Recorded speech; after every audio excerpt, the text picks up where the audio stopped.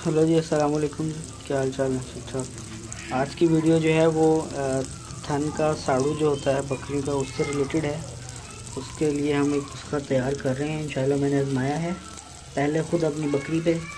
वो मैं अब जब थर्ड टाइम यूज़ कर रहा हूँ तो काफ़ी फ़र्क पड़ा है नुस्खे से।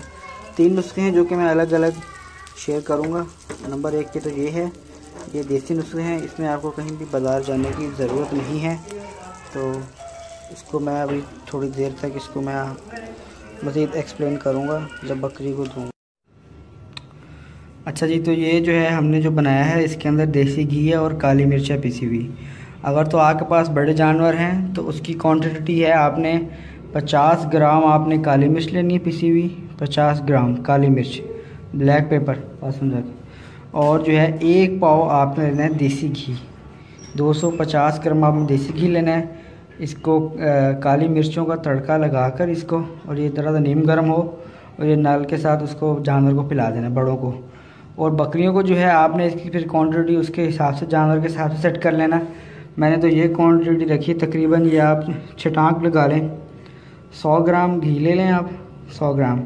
और उसके अंदर जो है तीन चार चम्मच ज़रा इतनी सी जो है अपने हिसाब से जो है काली मिर्च लेके पीसी उसका तड़का लगा के उसको आपने शाम में जब बकरी आए, नहीं, घर पे हो, शाम हो, शाम को उसको अपने बोतल में डालकर पिला देना है। ठीक है जी? देसी घी को काली मिर्चों का तड़का लगाना है, इसको जब नीम ठंडा करके थोड़ा सा नीम गर्म हो, नीम गर्म ही आपने बकरी को पिला देना है। ये आपने इंशाल्लाह तीन दिन करना है और ये शर्तिया है, इससे बकरी का दूध बिल्कुल ठीक हो जाएगा। मेरे पास बकरी थी, उसको शाम टाइम पहले फुटकियाँ आ रही थी, फिर पानी आने लगा पहले।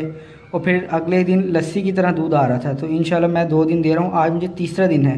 तो आज सुबह जब मैंने थन चोया है तो उसमें से सही ठीक दूध आया है। तो मुझे ये मुनासिब लगा। मैंने कहा चलो यार आप लोगों से शेयर करता हूँ वीडियो। और इंशाल्लाह मेरे पास इसी तरह दो और नुस्खे हैं जो कि मैं यूज़ कर रहा हूँ बकरी को तीन दिन से।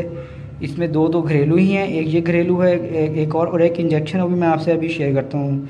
वो मैं इंशाल्लाह नेक्स्ट वीडियो में शेयर करूँगा। ओके जी वीडियो पसंद है लाइक शेयर सब्सक्राइब करें। ओके जी अल्लाह हाफिज़।